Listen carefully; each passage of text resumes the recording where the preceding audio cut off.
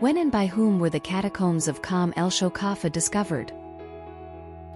Join us on a captivating journey as we unravel the accidental discovery of the catacombs of Kom El Shoqafa in 1900. Picture a donkey stumbling upon an entrance leading to the revelation of an ancient necropolis from the 2nd century AD in Alexandria. The subsequent excavation exposed a labyrinth of chambers and corridors showcasing a mesmerizing fusion of Egyptian, Greek, and Roman influences.